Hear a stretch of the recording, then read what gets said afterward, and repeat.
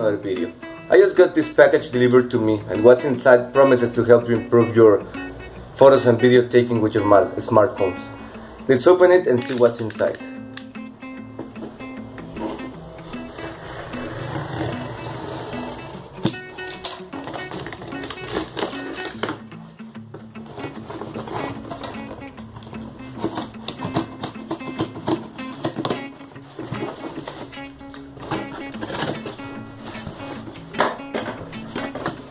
Okay.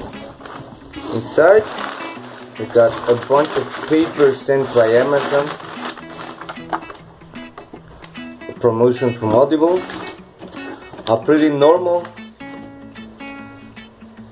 German tripod. And this one is the special one. Throw this away. So, this thing, as you can see in here, this uh, quarter inch adapter screw so you can mount this on a tripod like this one. And this allows you to expand it so you can put in any smartphone you want in here. So let's see with an iPhone 5s goes inside everything works properly pretty nice grip. So let's mount it up and really a pretty standard one a pretty cheap one I just wanted uh, a tripod, an entry level tripod, so I bought the cheapest I could find. Let's hope it's not that bad. It costs only 11 euros by Amazon Germany, but it seems really nice in here. It's a little small, yeah, but seems good, feels good, good quality. Now let me try it out and I'll show you.